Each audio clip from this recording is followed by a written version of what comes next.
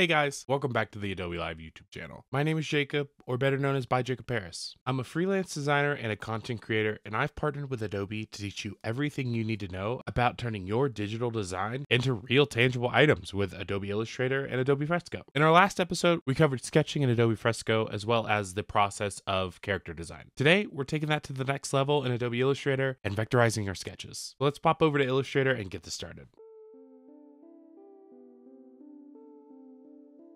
But most importantly, the first thing we need to do is import our sketch over into Adobe Illustrator. There's a lot of ways that you can do this. You can use the Adobe Cloud Library or you can email it to yourself. But since I'm running on a MacBook and I have an iPhone and an iPad, I'm just gonna airdrop it to myself and just drag it over. So you'll notice that the sketch is a little more defined than in our initial sketch video. And that's because off camera, I did some refinement. The sketch process does take a lot of time and the refinement process takes even longer. I just want to save you guys some time in the last episode and give you a baseline on how to approach it, but take as long as you need in order to get your sketches to where you like. So now that we have our image in Illustrator, what's next? Well, first, we need to find out the best way for us to vectorize this image. One of the ways that people are probably the most familiar with is just going to your image trace tool and clicking make it expand.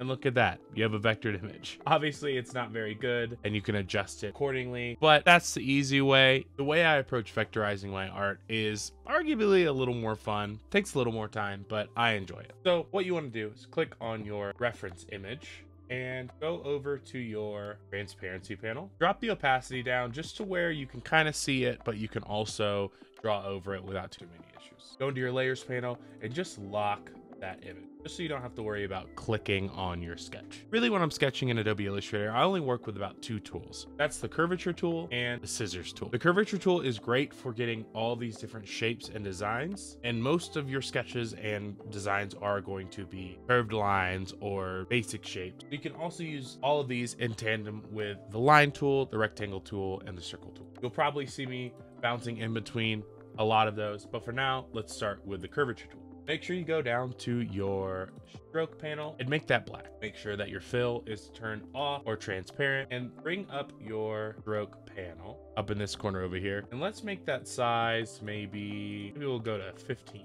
Perfect. So now really all we need to do is zoom into our characters and start designing. When using the curvature tool, really all you need to do is click a point, click another point, and keep clicking to get that nice curvature look and follow your sketch lines. Really, really simple. If you don't want to have these squared off caps, you can click on this rounded cap setting and it'll round it and make it look nice and smooth. This is pretty much all I do with the pen tool in order to get my characters fully vectorized following the lines of my sketch and strategically clicking. For points like these, Again, you're just going to be clicking on your line. And also, if it's not necessarily cooperating with you, click on your line and just drag it to either flatten it out or grab the handles of these anchor points. Another great tip that you can use is if you use the selection tool and click on your line that you just drew, if you go up to object, path, and smooth, you can actually smooth out your line as much as you want. In this case, we don't want it to be too rounded because this is supposed to be a square backpack strap. So we'll go about here and then just go back to our curvature.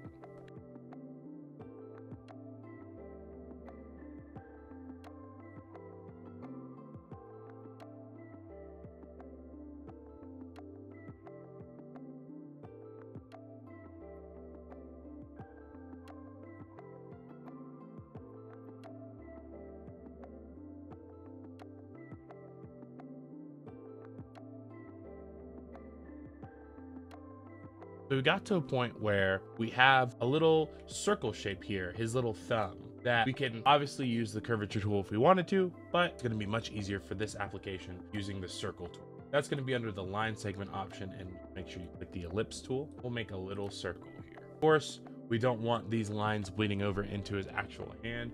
So what we can do is click on the scissor tool or just press C and zoom in here, cut the line of that circle and just delete those using the delete button. Now we have a nice little thumb for our little character. Let's keep going.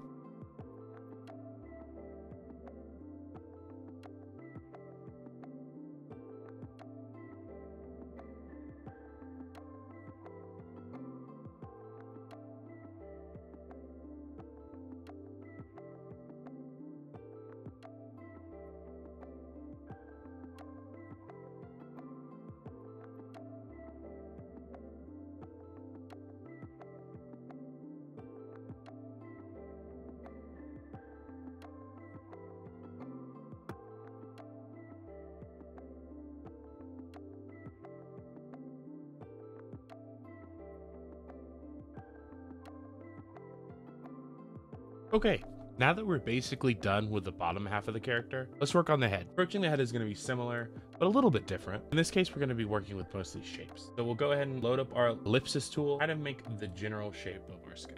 We want our lines to line up with these lines down here. I'll just adjust it like this. Perfect. Now let's go ahead and cut the lines where the lines end so they're not clipping into our character and just delete this part. Now what we can do is we can use ellipsis tool and we can just trace the shape of this mushroom. These shapes are always a little difficult to get down the first try because we're going to be adjusting with all these anchor points and you can see it looks a little wonky. But with a combination of the direct selection tool and a little bit of patience as well as using the smooth tool, you should be pretty decent. And we'll just go over to the smooth tool. Perfect. I'm going to adjust this a little bit more so that this is the same on both sides. A lot of this vectorized drawing is just tweaking and pulling and pushing until you have your lines in the place that you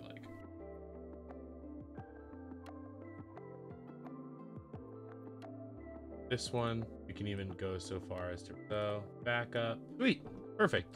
I'm really liking where this is going. So now we want to add the little nodules on top of his head. That again is going to be really, really simple. We only have to actually draw these bubbles once. So really all we're going to need to do is use the ellipse tool again. Go ahead and make that shape. We'll cut it just above the center and delete this part. We use the curvature tool, make a little curve here, connect those lines with, without that bottom. What we can do now is just click on both with the selection tool, click Command G, group them together, click Command C and Command V, and just drag those into place. So we don't have to redraw them every single time. I like using this method just because objects are supposed to look the same. There's really no point in wasting my time and redrawing them over and over and over again. We'll go ahead and finish these lines, as well as the eyes and face. For this technique, really, if you have any shapes that are connected like this, what I like to do is highlight them, click K, which brings up your live paint bucket tool. In this case, we do want our fill to be filled and we'll make that black and you can just click on whichever shape you want to be filled in. Obviously they have to be connected in some capacity and then it'll make that. Then we'll just go down to the white, make that white. So this is going to be our eyes. This is how I like doing eyes. I know it's not how everyone does eyes, but this is my kind of like my little moniker signature, however you want to say it.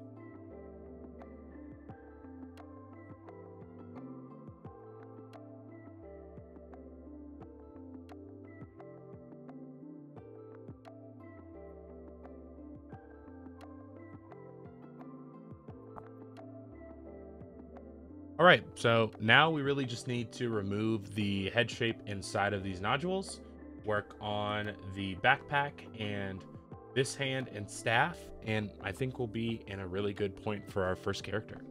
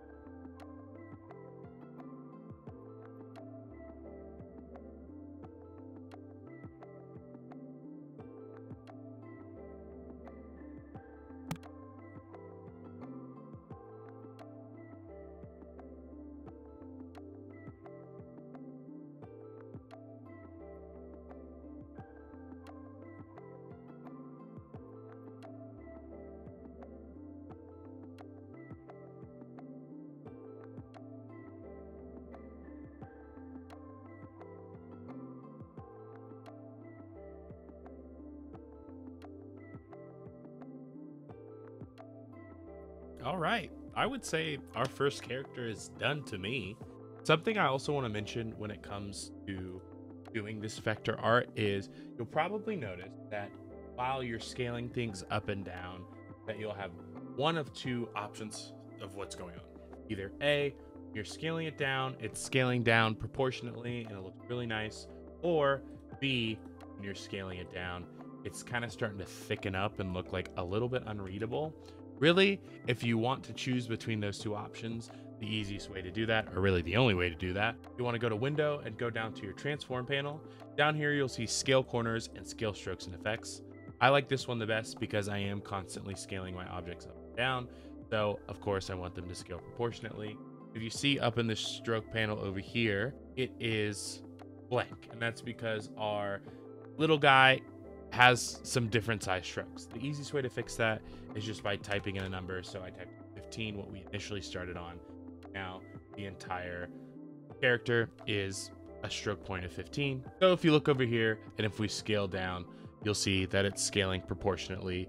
You'll see those numbers change. So make sure, highlight your whole character, click Command G, make sure it's grouped up. And now you have your first vectorized character built out for this project. What I also like to do is I like to just go ahead and copy and Command V, make another copy of my character, drag him over into the gray space and just go to the layers panel and make it invisible. This is just so I have a little bit of a backup in case anything happens to this character. Might be me just being paranoid, but you know, you can also name these if you want. I don't because I am lazy, but you know, that's a great way to keep up with it as well. So really, I think it's high time that we jump into these other two characters and get them fleshed out. Really, it's a lot of the same working in with the curvature tool, the circle tool or ellipse tool, and the line tool, as well as the scissors. Uh, and if we come across anything that I feel like is worth highlighting, I will definitely point that out. Really, I just want you to see this process from start to finish from someone that does this a lot. So let's hop into it.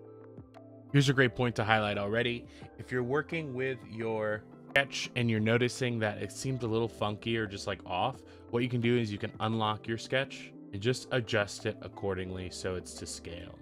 I'm just going to tip this up a little bit just because it's a little bit easier to work off of your baseline instead of kind of trying to adjust yourself. At least I find it easier, but if you want to keep it as is, you can do that as well. There's really no right way.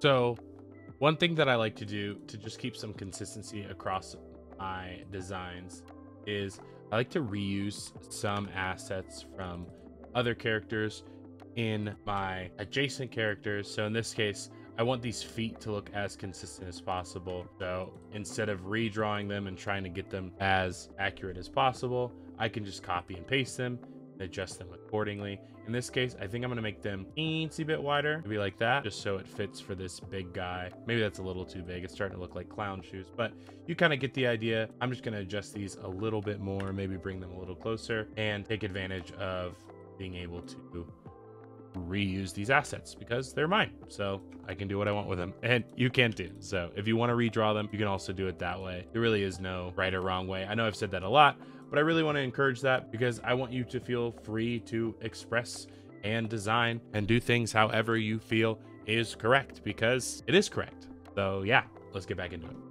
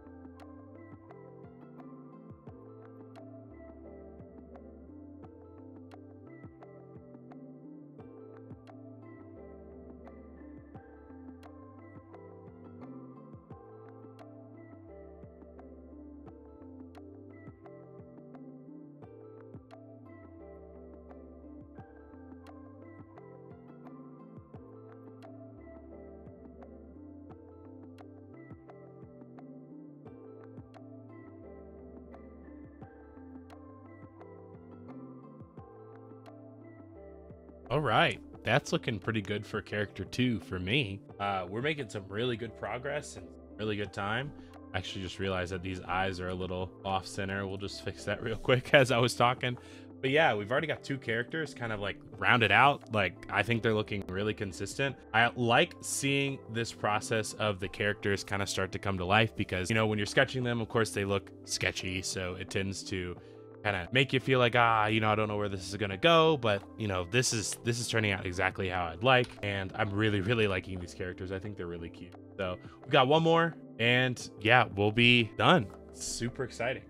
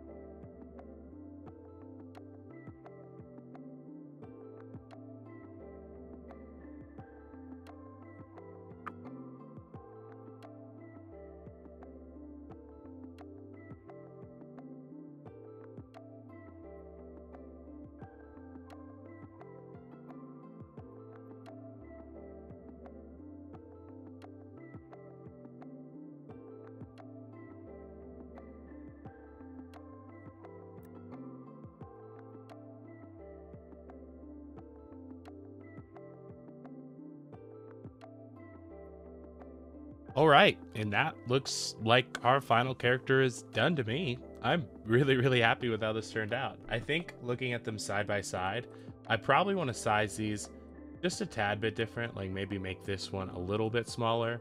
And when you're designing, obviously you can make these adjustments on the fly. It's really up to whatever your preference is. I really like how this looks. And another thing too, if you start noticing that your characters are looking a little like chunky, you can also just drop the stroke of all of your characters. I'm going to go down to 13 because I think 15 is a little too thick for this guy. Perfect. Yeah, I really, really, really, really like this. I'm really happy with how this turned out. I hope that if you're following along, that this kind of gave you some insight on how to vectorize your sketches and get some really cool looking characters because, because I think we're at a great stopping point and fully prepared for next week's episode. I really hope you enjoyed this video today, guys. This was a lot of fun and I hope if you're following along that you got to learn some new tricks in Illustrator with vectorizing your sketches, as well as using these tools to build out your characters. And I hope you had fun watching my process as well. Next episode, we're building color studies and font libraries. It's going to be a ton of fun, and we're really going to get to see these characters come to life even more than they already have. Hope you have a great week and see you next episode. Bye, guys.